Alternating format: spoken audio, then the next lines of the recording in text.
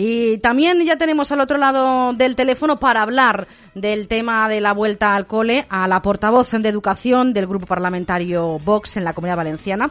Ella también es portavoz adjunta del partido. Llanos Masó. Llanos, ¿qué tal? Muy buenas tardes. Hola, muy buenas tardes. ¿Ya nos podemos hacer balance de cómo ha sido ese primer día de vuelta al cole?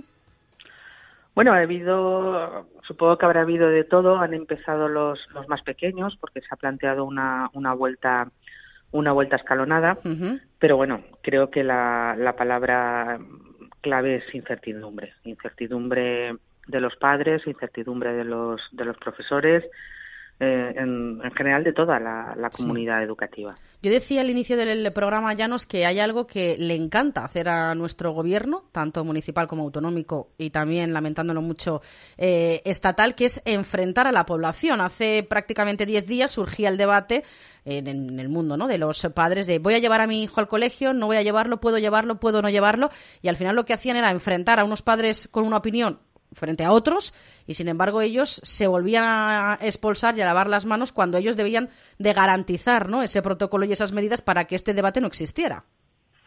Sí, desde luego lo que está claro es que la responsabilidad eh, es, de, del gobierno autonómico, es de la Consellería de Educación, que tiene el deber de garantizar la seguridad, la seguridad de nuestros hijos tenía que haber ya desde el principio, es que son seis meses desde el inicio de la pandemia, en el que se tenían que haber planteado eh, que esto iba a suceder. Es que, es que vamos siempre tarde, mal y nunca. Eh, si se tienen que dar más ayudas a los centros, se busca. Si no hay, se saca de donde sí que hay.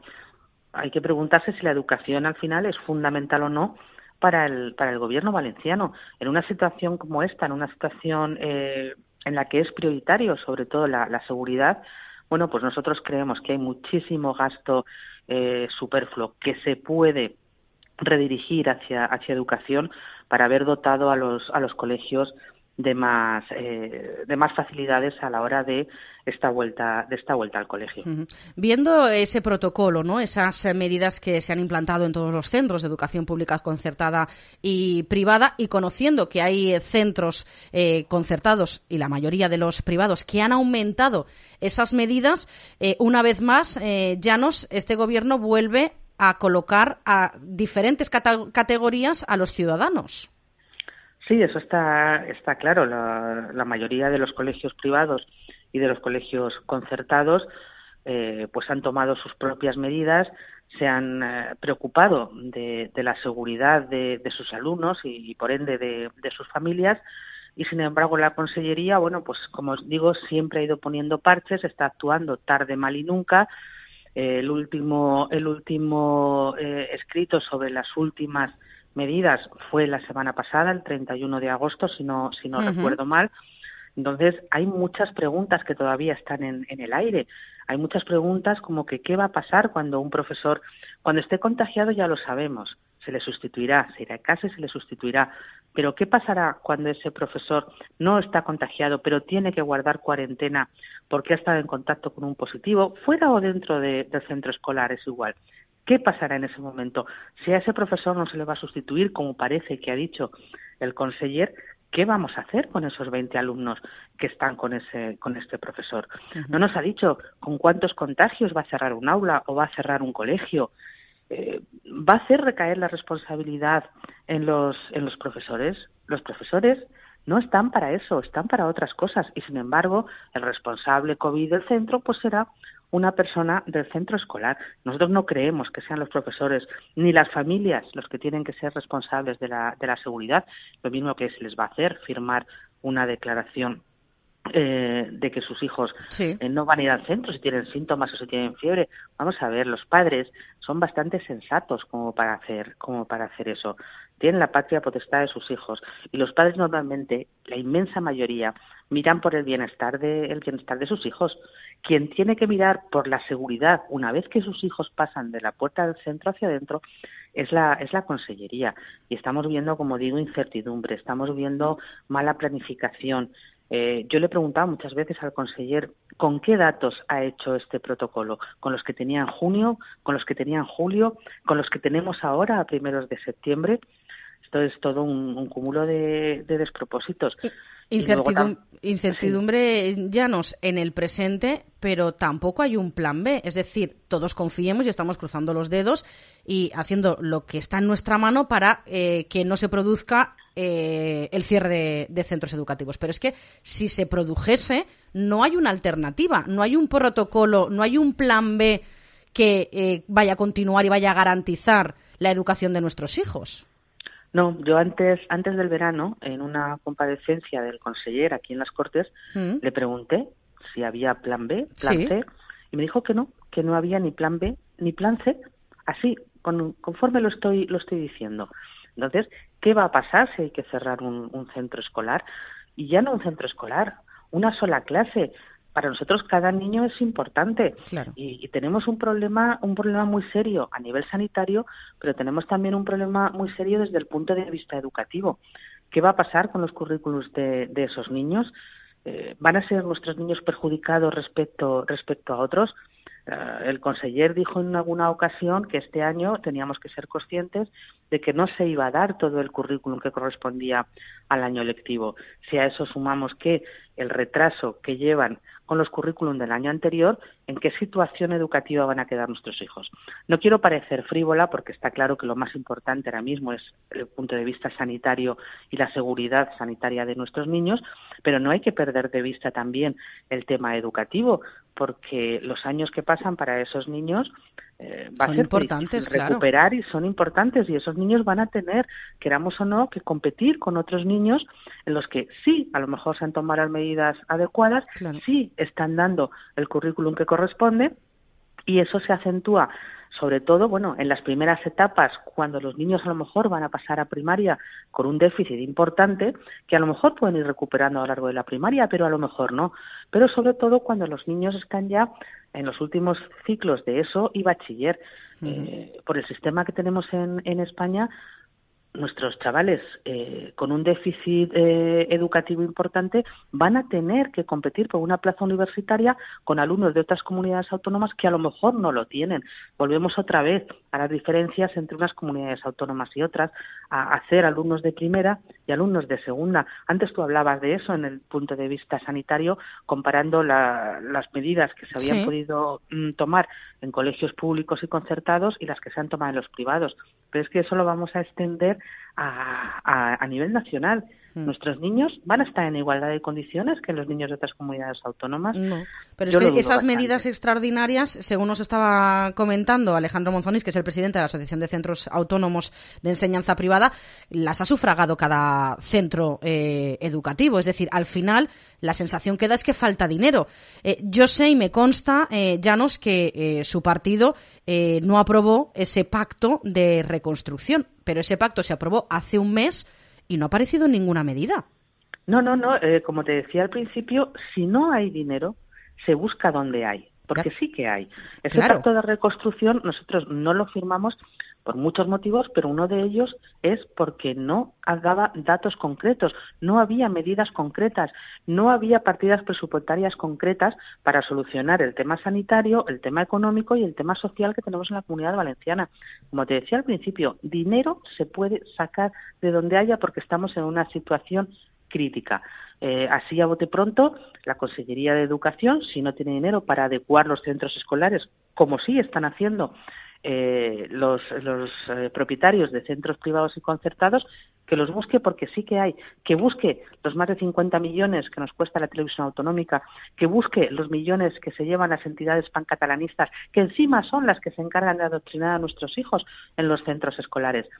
Si se quiere, hay dinero. Y si se quiere. Y que después eh, ya nos hay un presupuesto muy elevado, por ejemplo, en universidades, y los universitarios aún están esperando que también les marquen las pautas para iniciar eh, el curso. Sí, no, aquí eh, nos ha pasado a nivel autonómico lo mismo que a nivel nacional. La consejera de universidades está desaparecida. No hemos sabido absolutamente nada de ella, porque aún el consejero de educación, el señor Marzá, ha hecho un par de ruedas de prensa, ha sacado algún protocolo, pero la consejera de universidades está totalmente desaparecida y nuestros alumnos, a, a escasos días de inicio del curso escolar, no tienen ni idea de qué va de qué va a pasar con ellos. Además es que incluso las pocas em, ideas que se les han ocurrido rozan hasta el ridículo.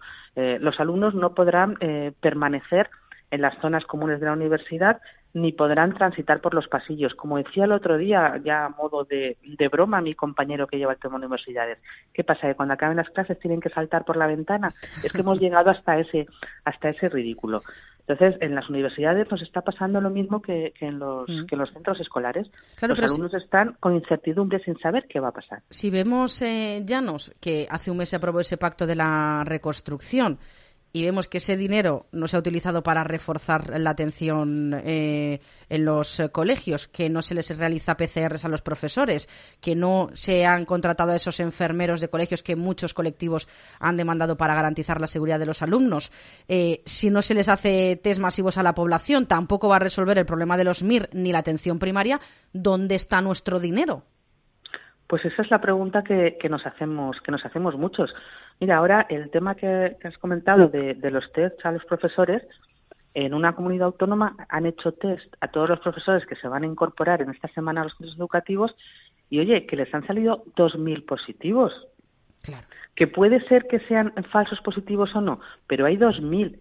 Antes de empezar el curso escolar, antes de que esos profesores se incorporen a los centros escolares, ¿no sería conveniente eh, hacer esos, esos test.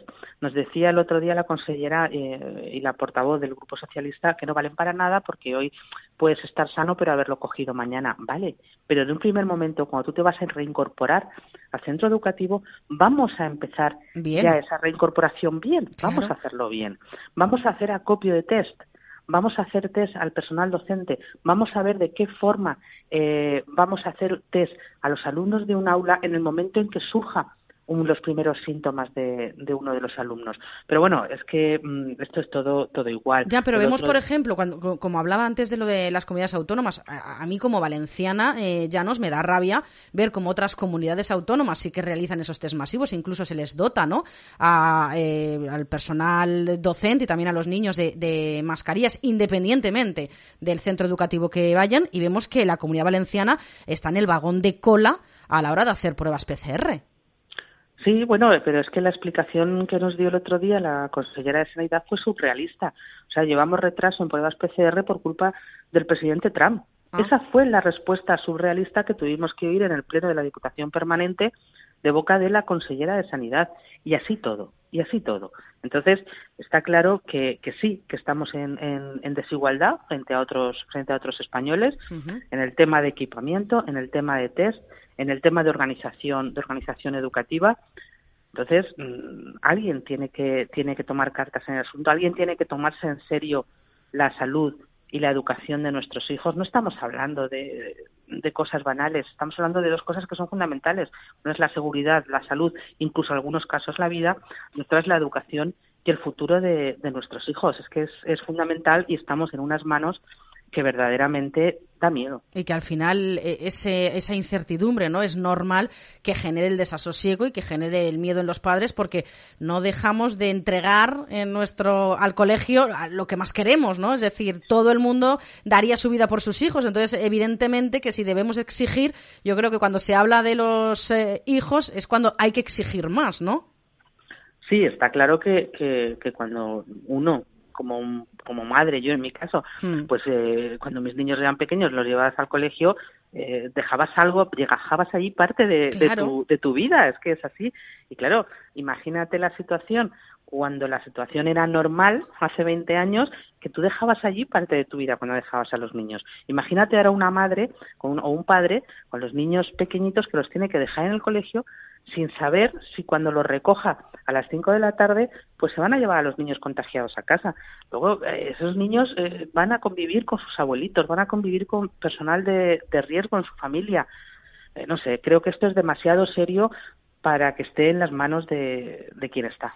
Pues eh, totalmente de acuerdo, Janos, porque al final estábamos hablando ¿no? de dónde va ese dinero. Yo A mí me consta que es los 330 altos cargos son intocables, que no han renunciado ni a uno de sus privilegios durante toda esta pandemia, mientras mm, muchos valencianos sí que sufrían paro, sufríamos los ERTES y también esa campaña turística desastrosa. A ellos no, se les ha tocado nada. Ellos como si vivieran en un mundo paralelo de esta pandemia, ¿no?